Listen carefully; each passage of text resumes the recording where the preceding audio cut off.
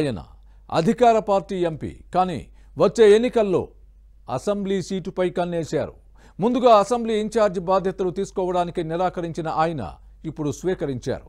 దీంతో ఎంపీ అభ్యర్థి ఎవరన్న అంశం హాట్ టాపిక్గా మారింది. ఏ జిల్లాలో ఈ పరిస్థితి ఉంది? అసెంబ్లీకి పోటీ చేయాలనుకుంటున్న ఎంపీ ఎవరు?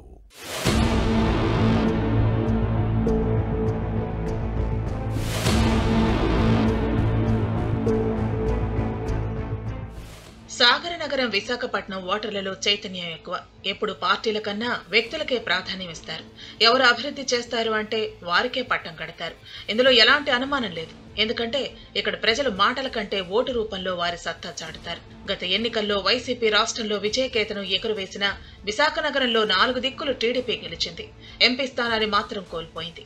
దానికి కూడా అప్పట్లో జనసేన తరపున జేడీ లక్ష్మీనారాయణ బరిలో దిగటంతో భారీ సంఖ్యలో క్రాస్ జరిగింది. దీంతో టీడీపీ ఓట్లు చీలిపోవడంతో వైసీపీ నుంచి ఎంవివి సత్యనారాయణ ఎంపీగా విజయం సాధించారు.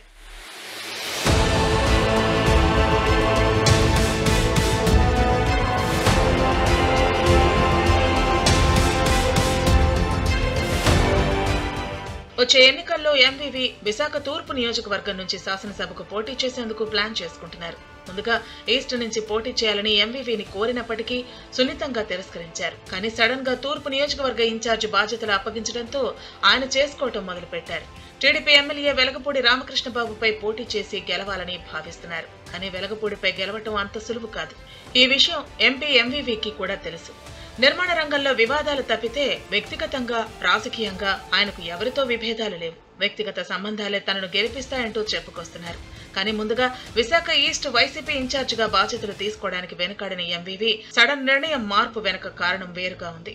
ముందు ఎంపీగా పోటీ చేయాలనుకున్న ప్రస్తుత పరిస్థితులు చూశాక నిర్ణయం మార్చుకున్నారు.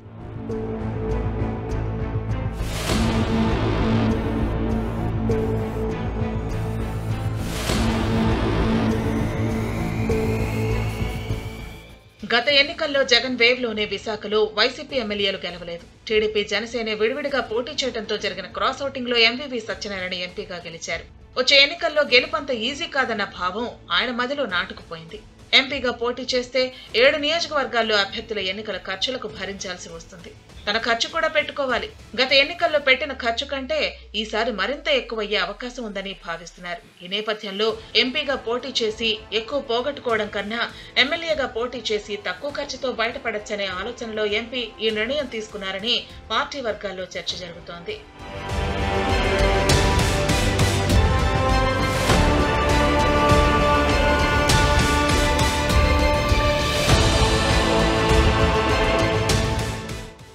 ఎంవివి సత్యనారాయణ నిర్ణయంతో ఇప్పుడు వైసీపీ ఎంపీ అభ్యర్థి ఎవరన్న విషయం చర్చనీయాంశంగా మారింది.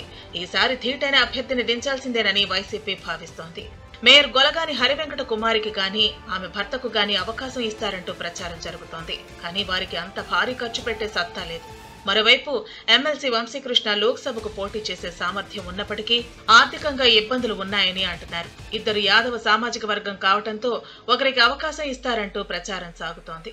మరోవైపు జేడీ లక్ష్మీనారాయణ విశాఖపట్నం నుంచే లోక్సభకు పోటీ చేస్తానని గతంలోనే ప్రకటించారు. దీంతో వైసీపీ అభ్యర్థిగా జేడీని బరిలో దించితే బాగుంటుందన్న చర్చ సాగుతోంది.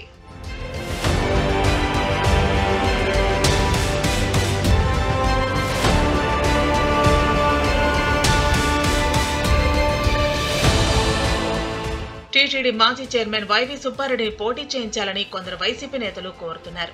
ఉత్తరాంధ్ర ఇన్ఛార్జిగా వేసినప్పటికీ ఆయన కూడా ఈ మధ్య విశాఖలోనే ఉంటూ ఈ వ్యవహారాలు చక్కదిద్దుతున్నారు.